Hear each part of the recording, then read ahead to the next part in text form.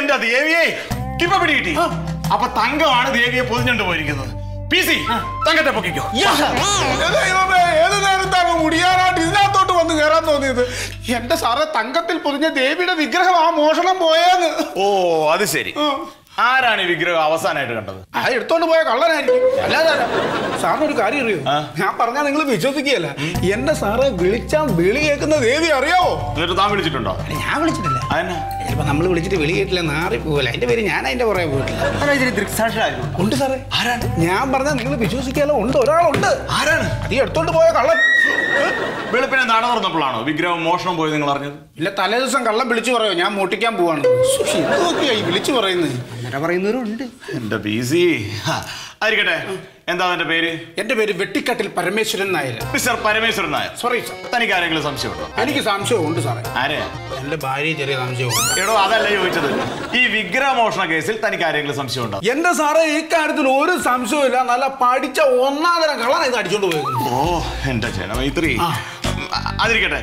ഇതിനു മുമ്പ് ആരെങ്കിലും വിഗ്രഹം മോഷിച്ചിട്ടുണ്ടോ സാർ എന്നാ ചോദ്യം ചോദിക്കുന്നത് ഇതിനു മുമ്പ് ആരെങ്കിലും ആ വിഗ്രഹം മോട്ടിച്ചിട്ടുണ്ട് ഇന്ന് ആ വിഗ്രഹം അവിടെ കാണുമോ ഓ അപ്പൊ സംശയിക്കേണ്ട. കള്ളൻ കപ്പലിൽ തന്നെ. സമാധാനമായി. ഭാ നമുക്ക് ആ കപ്പലിലോട്ട് പോകും എന്റെ ദേവിയേ ഇവിടെ ഇപ്പൊ ഒരു കാര്യം മനസ്സിലായ?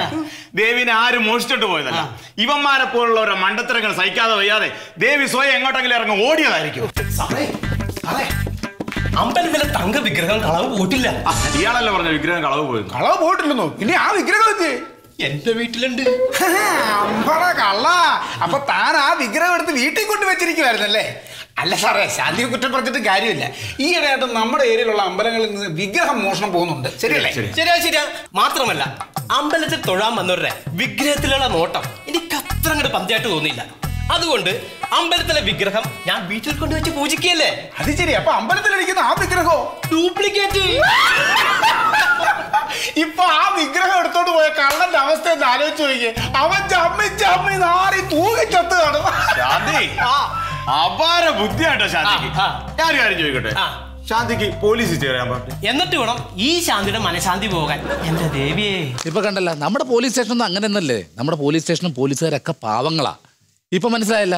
ഒരു കുഴപ്പമില്ല സാർ സാറിന്റെ ഔദ്യോഗിക ജീവിതത്തിൽ എന്തെങ്കിലും കേസ് പാളിപ്പോകുവോ തോക്കുവോ അങ്ങനെ ഒന്നും ചെയ്തിട്ടുണ്ടോ? എനിക്ക് തട്ട് കിട്ടിയിട്ടുണ്ട്. തട്ട് കിട്ടിയിട്ടുണ്ട്? എങ്ങനെയാണ്? അതായത് ഈ കടൽക്കരയിലുള്ള ഒരു തെങ്ങിൻ തോപ്പ്. റിസോർട്ടിന് പറ്റിയ ഏരിയ. പക്ഷെ ഒരു പ്രശ്നമുണ്ട്. അവകാശികൾ രണ്ടാ. ഒന്നാമത്തെ അവകാശം എന്റെ അടുത്ത് ഒന്ന് പറഞ്ഞു സാർ ഈ കേസ് ഒന്ന് വാദിക്കണമെന്ന്. ഞാൻ അയാളോട് ഇരുപത്തഞ്ച് ലക്ഷം രൂപ ഫീസ് ആവശ്യപ്പെട്ടു. ഇതറിഞ്ഞ രണ്ടാമത്തെ അവകാശി എന്റെ അടുത്ത് ഒന്ന് പറഞ്ഞു അപ്പോൾ ഞാൻ അയാളോട് അൻപത് ലക്ഷം രൂപയാണ് ഫീസ് ആവശ്യപ്പെട്ടത്. അമ്മടാ മുത്തേ. അങ്ങനെ സ്വപ്നം കണ്ടുറങ്ങിയ ഞാൻ രാവിലെ ഞെട്ടിപ്പോയി. എന്തു പറ്റി? ഇവർ രണ്ടുപേരും എന്റെ അടുത്തുനിന്ന് പറയുക ഞങ്ങൾ ഈ കേസ് പിൻവലിക്കുന്നെന്ന്. എന്താ ഇവർ തമ്മിൽ കോംപ്രമൈസ് ആയോ? കോംപ്രമൈസ് ആയതല്ല. ഈ പറഞ്ഞ സ്ഥലം കടലെടുത്ത് പോയെന്ന്. കടലെടുത്ത് പോയത് കൂടിയല്ല. എന്റെ ലക്ഷങ്ങൾ കൂടിയല്ലേ ഒലിച്ചു പോയത്. ഇതാ സാറേ പറയണത്. ഒട്ടനെ ചട്ടം ചതിച്ചാ ചട്ടന ദൈവം ചതിക്കും. അങ്ങനെ പറയുന്നു നമ്മൾ കോടതിയിൽ കേസ് വാദിക്കുന്നത് സത്യസന്ധമായിട്ടാണ്. കളിയിൽ അല്പം കാര്യം